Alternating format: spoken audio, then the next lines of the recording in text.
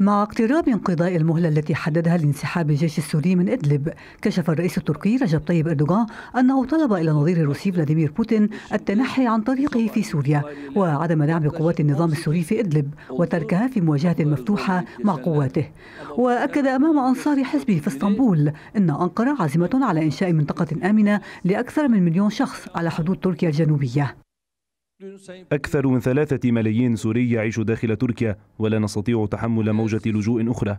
قواتنا لن تخرج من الأراضي السورية ما دام الشعب السوري يطالب بها. لا نريد نفطا ولا أرضا من سوريا. بل حدودا آمنة لدولتنا. ويطالب أردوغان سوريا بالانسحاب من محيط نقاط المراقبة التركية ما يعني الانسحاب إلى ما بعد مورك شمال مدينة حماة وهو ما تراه روسيا غير مقبول. على أن الإنذار الذي وضعه الرئيس التركي في أواخر شهر شباط انتهى على النتائج التالية. 55 قتيلا تركيا في شهر بينهم 34 في يوم واحد. أراد إردوغان خوض حرب على روسيا وسوريا فوجد نفسه وحيدا من دون دعم أمريكي أو عربي أوروبي.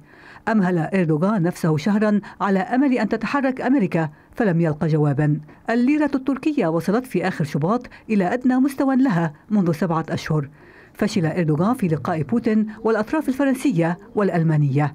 فشل أيضا في الاحتفاظ بالسيطرة على مناطق الإرهابيين والإمساك بها كأدوات لابتزاز دول أوروبية. انتهى الشهر بنازحين جدد بدلا من إعادة مليون نازح كما وعد إردوغان. وفيما الجيش السوري يسترجع أراضيه كان إردوغان يستقبل آلاف النازحين. فشل إردوغان في إقامة دولة إسلامية يحشد فيها إرهابيين وتكون عازلة لسوريا. فشل في إطاحة الرئيس بشار الأسد. انتهى الإنذار على تململ وتذمر من الجيش والمعارضة التركية على حد سواء.